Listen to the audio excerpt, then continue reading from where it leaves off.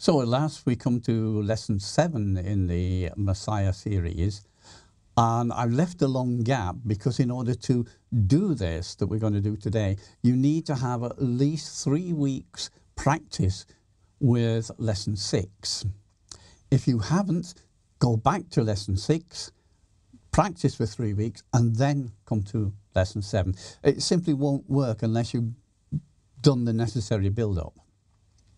So, now, what we learned in lesson six was to open the power of your hara. First, at the right physical level, the, the orange, and then at the, well, the field level, the, the white gold.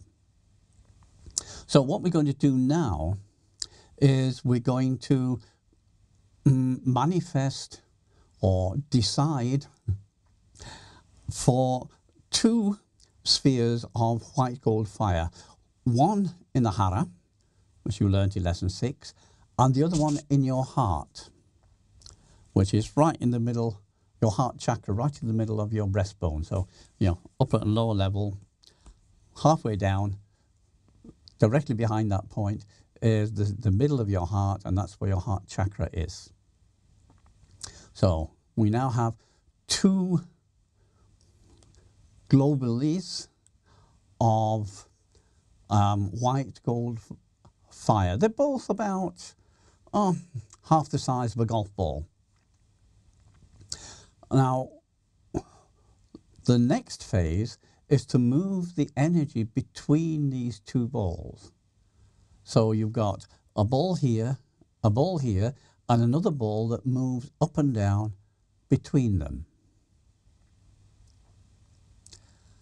Very quickly you will notice something which is difficult to understand intellectually, but it's clearly described in quantum physics.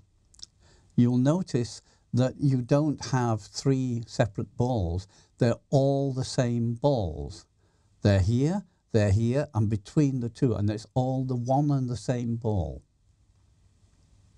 So just practice moving that. This is the, all that's involved in lesson seven. But you will um, be amazed at the effects. They are absolutely stunning. And when you practice this for a while, we can then go on to lesson eight. So, enjoy, be amazed. Namaste.